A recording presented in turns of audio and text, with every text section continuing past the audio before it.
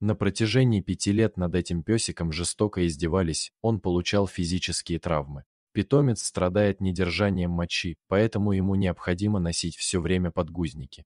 Сотрудники полиции узнали, что преступник – это брат бывшего хозяина собаки.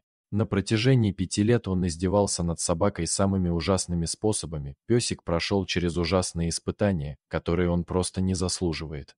Несколько людей написали заявление в полицию, но доказательств причастности этого человека нет, поэтому он остается на свободе. Однако позже собака нашла любящий дом в регионе Саффолк в Британии. Ивона Уэст, его новая хозяйка, заботится о нем днем и ночью. Этот поворот на 180 градусов в жизни собаки начался за несколько месяцев до ее усыновления, когда соседи увидели, как Пинча бродил в одиночестве по улицам, весь в ранах и крови.